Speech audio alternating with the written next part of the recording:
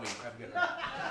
all right, so as you heard, this the title of my story is called "Get Me the Oven Mitt." But before I get into the story, I'm going to give you just a little preclusion about why I can appreciate the need for a filling meal. I was very young. My mother was going through chemotherapy for the first time. She did not want to cook, so she picked up a bucket of KFC chicken and decided to take a nap. Well, little me walks up and goes, Mommy, I'm hungry. She goes, Well, there's some KFC in the fridge. About an hour later, she gets up. I'm sitting on the chair in front of the television, an empty bucket between my legs, a pile of picked clean bones to my left, and a biscuit in my hand, flipping the channels. So that right there should tell you, aside from my girth, that I appreciate food. Which leads me to December 24th, 2012, Richfield, Ohio, at my workplace at the time, McDonald's. I was wearing this exact sweatshirt, that's why I put it on tonight, and I have photo evidence to help prove my story. For those of you who have not worked in fast food, you are not supposed to have the back door open at any time unless there is a delivery. For those of you who have not worked in fast food, that rule gets ignored fairly often. This was one such instance. For whatever reason, a lot of water had been spilled on the floor in the back. And rather than do the respectable thing, the kosher thing, the legal thing of cleaning it up with mops and buckets, we opened the back door and used shovels to shovel it outside. Don't ask me why, I was in charge of that. It would have been much more pretty if it had been. So, we all had our backs turned at just the right moment. I don't know how we managed it. We couldn't have choreographed it if we tried. But a few moments later, a customer comes up to the counter and says, You know, there's a hawk in the building. Excuse me? What did you say? So we all crowd up to the front, and there, on the floor, plain as day, was a, was a big old hawk. We had no idea how it got in. We know that it tried to fly out the window of the vestibule, as was evident by the imprint and feathers stuck to the window. And as could be predicted, it was screaming at everybody that tried to get near it, except me. It flew deeper into the dining room. Now, we had little cubbyhole like rafters in front of one of the windows, and it decided to fly up to the tallest point where only giants could reach. So we're all standing there staring at it, trying to figure out what the hell we're going to do. And that is at that point that I said what easily could have been the dumbest thing of my life. Without taking my eyes off the hawk, get me the oven mitt, I got this. Predictably, my coworkers slowly turned and looked at me and questioning my sanity said, what? Get me the oven mitt, I got this. Now my logic had been, our oven mitts came up to the elbow. Now, for those of you who've seen movies or had perhaps taken part in falconry, you know that those thick gloves they wear come up to the elbow. And I'm thinking to myself, close enough.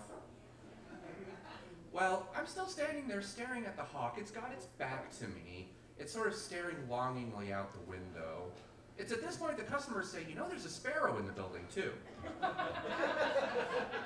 the mystery had been solved. The hawk had been chasing the sparrow going after food, glorious food, on a cold, wintry day, and did not realize the irony of whence it had chased it.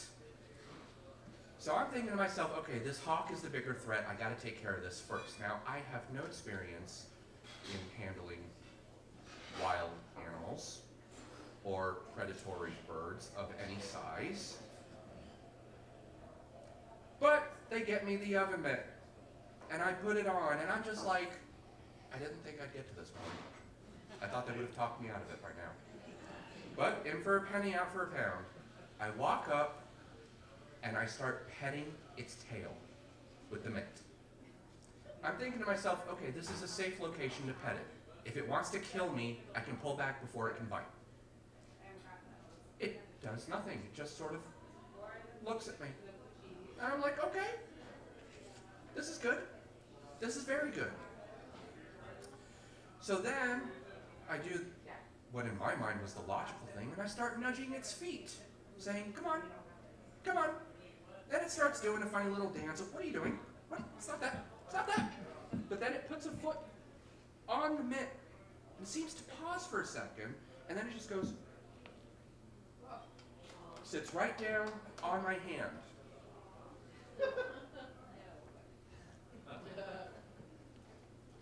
Evidence A. So then I bring it down away from my face because it still might be hungry. And as I bring it towards my chest, it cuddles to me. Leans up against me. Of course, I generate heat like I'm a gasoline powered furnace, so that might be one of the reasons. So I'm just walking through the store going, guys? My manager turns the corner. I'm not exaggerating. He literally bent over at the waist, his jaw fell open, and his eyes bugged out. So then I'm like, okay, I better get this out of the building as fast as I possibly can before it decides I'm not its friend anymore. So I go into the vestibule and I snap the photo that's currently being passed around with my phone. But then I'm thinking to myself, that's not fair. Everybody should join in the glory. Now the bird was sitting down, if you recall. So I turn and I pose like this. I said, guys, if you want pictures, now's the time.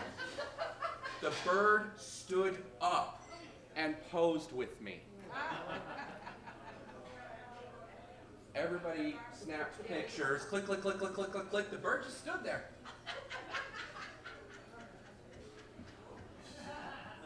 I only imagine it nodded its head. So then, thinking I've pressed my luck more than enough at this point, instead of stepping outside with the bird where I no longer had the protection of my packmates, I just stick my hand out the door. And the bird just stands there. And I swear to you, it turns and it looks back at me questioningly. And it wasn't until I said, go on, whoosh, took off to the tree across the parking lot, to the highest branch, sat down, turned around, and looked back down at me. This is one of the most powerful experiences I've had in my life and probably will be for years to come. At this point, I'm thinking, I just handled a wild hawk. A sparrow should be absolutely no. What was I thinking? this thing just saw me make friends with its wannabe eater. Clearly, I was not thinking clearly. I managed to get my hands on the sparrow for about five seconds total. And this was between three grabbings. What we managed to do was form a wall of humans, and we herded it out the drive-through window. So this is my story, and it was about Food Glorious food, but it was not my Food Glorious food. Thank you.